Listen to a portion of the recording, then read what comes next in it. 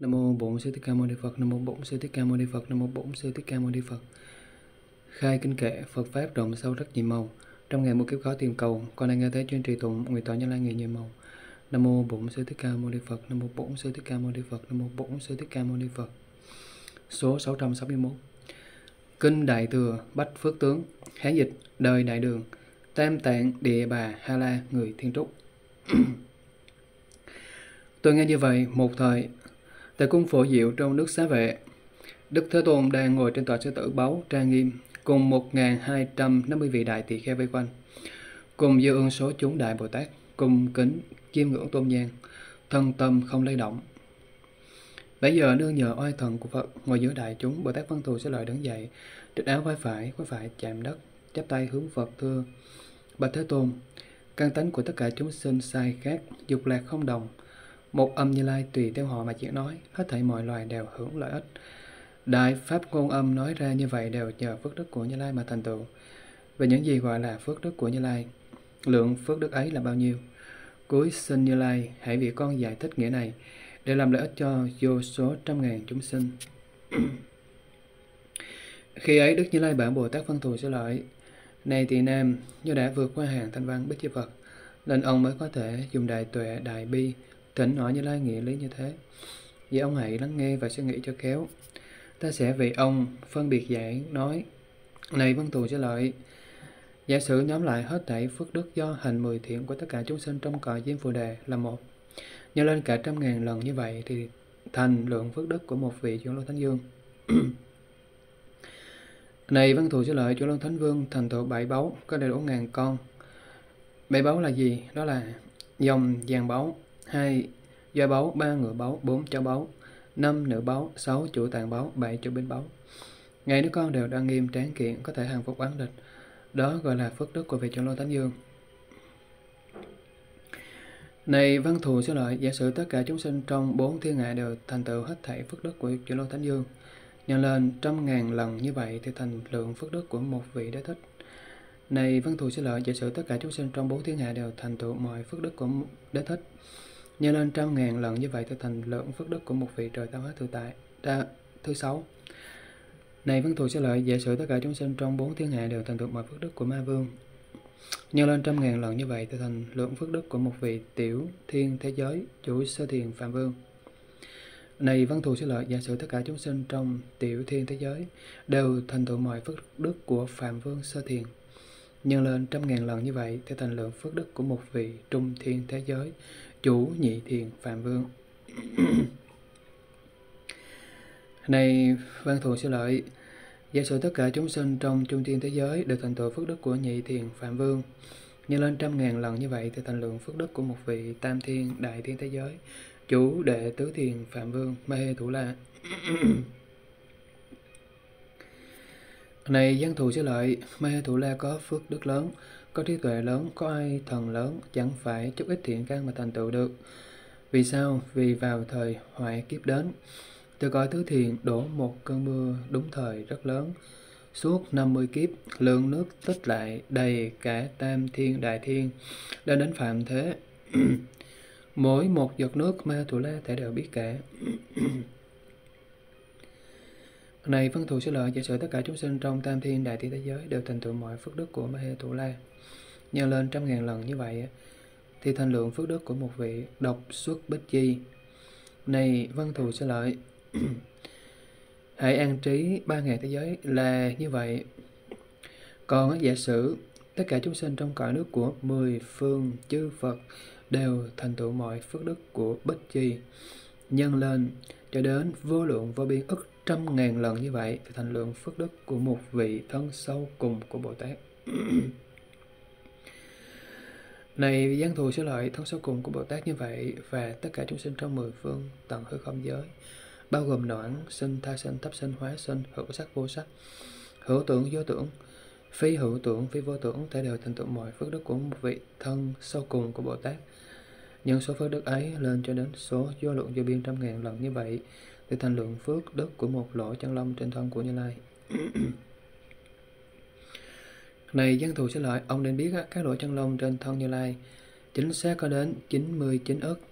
mỗi lỗ đều đủ số lượng phước đức như trên ta đã trình bày. Này văn thù sẽ lợi, mọi phước đức trong lỗ mỗi lỗ chân lông trên thân chư Phật Như Lai có chừng ấy phước đức cho đến nhân lên vô lượng vô biên ức trăm ngàn lần. Do đó, thân Như Lai được hình thành chỉ thuần phước đức. Này văn thù sẽ lợi, mọi cái điều tốt trên thân Phật như vậy, lượt nói có 80 loại. Những gì là 10? một Nhục kế lộ cao, đỉnh không thể thấy. hai Mũi cao, dài, thẳng, lỗ mũi không hết. ba Mày như trăng với mọc, màu sắc xanh biếc. 4. Trái thai thầm xuống, thân vững chắc như Na La Diên. 6. Xương khớp nối nhau như móc câu liêm. 7. Khi đi bằng chân cách đất 4 tấc, ấn văn thành tựu. 8. Thân như tượng vương. Dính móng tay chân như đồng đỏ, móng mỏng mà bóng loáng. 10. Xương đầu gối tròn đẹp. 11. Thân luôn tinh sạch. 12. Da dẻ mịn màng. 13. Thân thể ngay ngắn. 14. Ngón tay thon dài. 15. Hoa văn chỉ tay đẹp đẽ. 16. Gương mặt tiềm ẩn. 17. Sắc thân thanh nhã. 18. Mắt cá không lộ 19. Thân không siêu vẹo 20. Có thể tròn đầy 21. Thức tâm thanh tịnh 22. Oan nghi đầy đủ 23. Đi đứng an ổn không có lay động 24. Oai chấn khắp cả 25. Mọi loại ưa thấy 26. Mặt đẹp, Mặt không hẹp dài 27. Dung mạo nhân sắc không bị nhiễu loạn 28. Tướng mặt rộng hẹp đẹp 29. Môi như quả tầng bà 30. Âm thanh thâm viễn 31. Rốn sâu tròn đẹp 32. Rốn uống sang phải 33. Tay chân tròn trịa 34. Tay chân hành động theo tâm 35. Đường chỉ tay chân rõ ràng 36. Đường chỉ tay chân không đứt đoạn 37. Ánh sáng tay chân có năm màu 38. Mọi loài nhìn thấy đều vui thích 39. Khuôn mặt như trăng rằm 40. Nghĩ trước nói sau 41. Lỗ chân lông phát ra hương vô lượng vô thường 42. Bàn chân bằng phẳng 43. dáng vẻ như sư tử vương 44. Đối lui như tượng vương 45. Bước đi như Nga vương 46. Đầu như ma, đà na 47. Thân thể rất đoan nghiêm 48. Mọi âm thanh đầy đủ 49. Màu răng trắng sạch 50. Màu lưới như đồng đỏ 51. Lưỡi mỏng mài dài 52. Các căn thanh tịnh 53. Sắc thân sáng trong 54. Tay chân mịn màng 55. Tay chân có đức tướng 56. Diện môn tướng đầy đủ 57. Lòng bàn tay chân như hoa sen hồng 58. Bụng không nổi lên 59. Rốn không lồi 60. Eo nhỏ vừa vặn 61.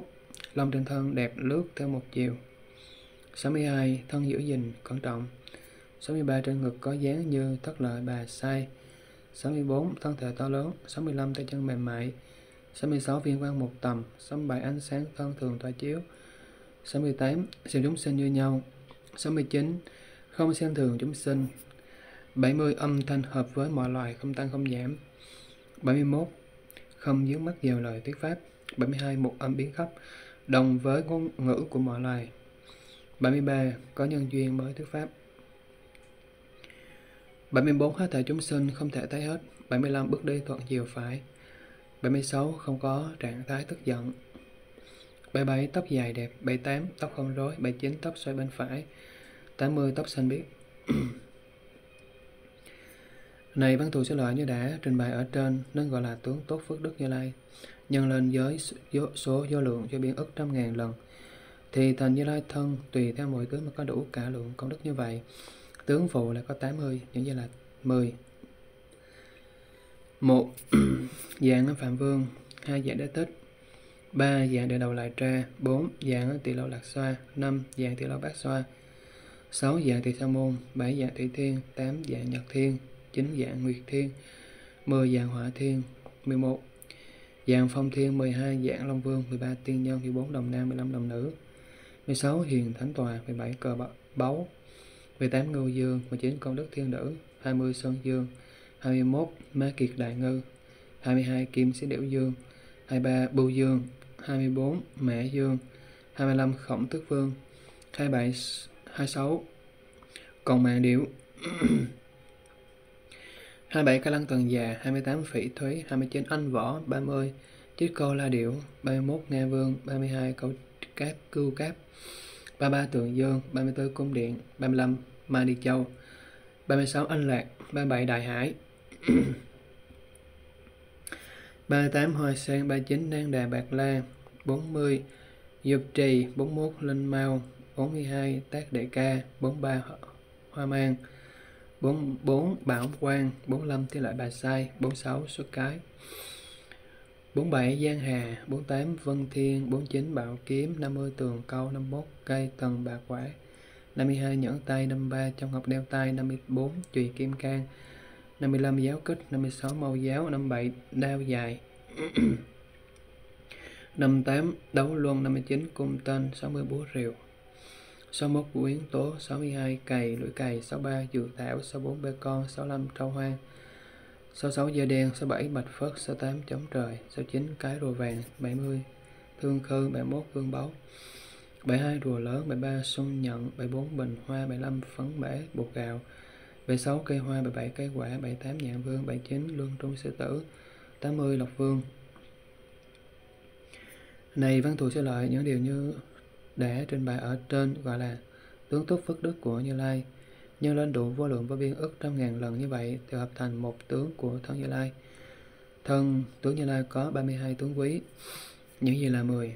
Một lòng bàn chân bằng phẳng, hai tay chân có thiên bức luân võng, ba ngón tay chân thon dài, 4. tay chân mềm mại như đô la miên, 5. gót chân đầy đặn đẹp đẽ, 6. ngón tay chân có màu màng răng, bảy mu bàn chân cao bằng tương ưng với gót chân, 8. bụng thon như lai như nai chúa, 9. Thân đứng ngay ngắn, tay duỗi qua gối.